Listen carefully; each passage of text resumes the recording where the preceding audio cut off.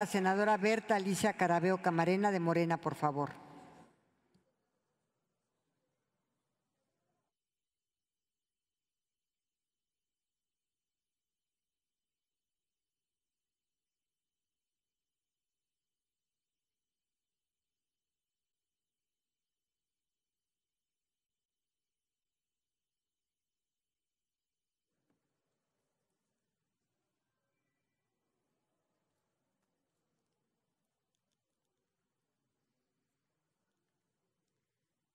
Compañeras y compañeros senadores, con su venia, Presidenta,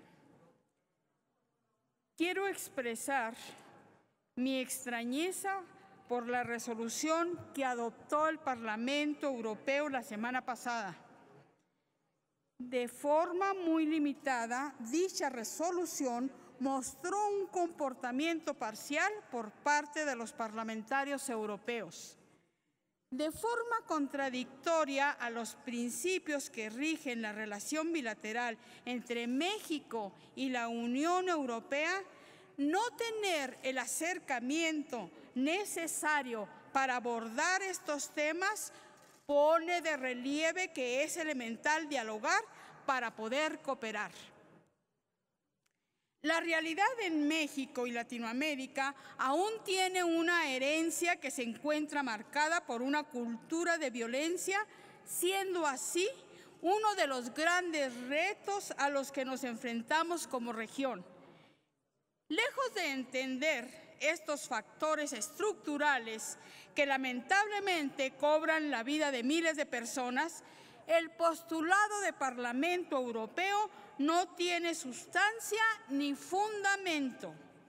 Hoy, el proyecto de transformación que enarbola el presidente López Obrador es una muestra del cambio y la forma en que se entiende bajo otro paradigma la atención a la crisis de seguridad. Y sobre todo, a diferencia de los gobiernos anteriores, somos un proyecto que está abierto a cooperar y a establecer diálogo para alcanzar acuerdos que velen por el bienestar. Es necesario que fortalezcamos el multilateralismo para alcanzar soluciones comunes a los problemas que a toda la comunidad internacional nos atañen. No podemos ser ajenos al grave problema que tenemos a nivel internacional con el tráfico de drogas.